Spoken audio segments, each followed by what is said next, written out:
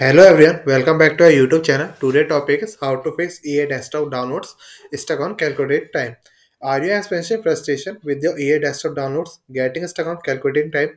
You are not alone. Many users have encountered this issue, but the good news is there are solutions available. In this blog, we will explore effective methods to resolve the problem. To fix the issue, we can follow the some simple instruction on the screen. First solution is use a recovery tool. Using the app recovery tool can help fix changes issue with the EA desktop app without the need to manually clear files or install the program. This tool can repair the app and potentially fix the download issue.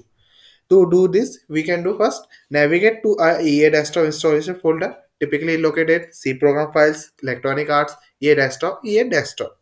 And after that, look for an executable file name apprecovery.exe and run the uh, recovery.exe program by double clicking on it.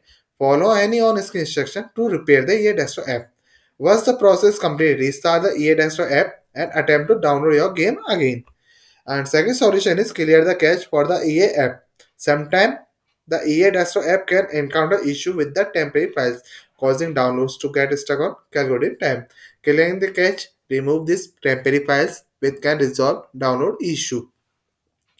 Clearing the EA desktop app and after open the run dialog box by pressing window plus r on your keyboard and type percent program data percent and press enter to open the program data folder.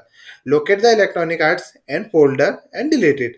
Next open the run dialog again. Type uh, percent app data percent and press enter. In the roaming folder that open delete the electronic arts folder uh, after that if the ea folder is also present in local folder delete it from there as well and third solution is adjust download setting. Modifying the download setting within the EA Desktop app can sometimes help resolve issue with download getting stuck. To do it first, you have to do ensure the app is running on your login. Click on the profile icon and select setting from the drop down menu. Locate the download section and 20 tweak setting as limiting download rate or enabling safe mode downloading. Apply any change you have made and close the setting. Attempt to download your game again to see if the issue is resolved or not. For second, for sorry, fourth solution is update the window updates. Making sure that your operating system is up to date important as update can include fixes for software compatibility issue. Open the setting app on your computer, go to the update security and click on the Windows update. After that, click check for updates and install any available updates. Restart your computer after the updates are installed and try to download again. Uninstall and reinstall EA Desktop app. Fifth solution is reinstalling the EA Desktop app can fix issue by corrupting files or outdated software. Ensuring a fresh start for your downloads, go to Control Panel, Programs, Uninstall a program, and select EA Desktop and click Uninstall it. Click the official EA website and download the latest EA installer, run the downloader, installer and follow the instruction to install the app.